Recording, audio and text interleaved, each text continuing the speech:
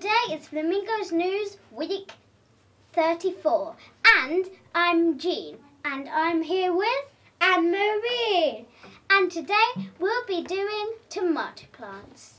So, how do you make tomato plants? Well, you get you have to have like a bag of soil and put the soil. You have to have like a, a little plastic cup like this and put the soil in it and make a little hole. Put put the tomato seeds in it and water it up. Yeah, and just wait a few days for it to go and have a little sprout, and then it'll start to get bigger, like ours has done now. So, as you can see, these were all last week's, but they were very different ones. So, Really but can you see how they have improved? So, look at my one now. Isn't it massive? So, when it's it's an in little bitty seed which grows into one big plant, and you can start to make more vegetables with them. Hey, I'm Dominic. Hi, I'm Arba. Today we went, went to visit, visit your new classes for year four. My class was Kiwi. One class was Kittiwakes. We we got some paper and we write it about ourselves. Then we after playtime we gone to our new classes again and we done five minutes of maths.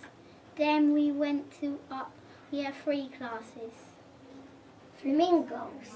Yep, flamingos. I'm gonna miss flamingos. Yeah, me too. Hello, and we're back again with story mapping. And today I'm gonna ask Jean, what is story mapping and why are you doing it? Well, first we're gonna start. What is story mapping?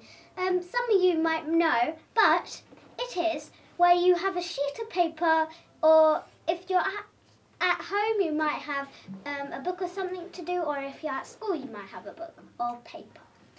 So, a story map is where you is where it's based on one story, and you it's not like a proper map, but what you do is you draw a picture, draw an arrow, draw a picture, and when you've done, you should have it portrait.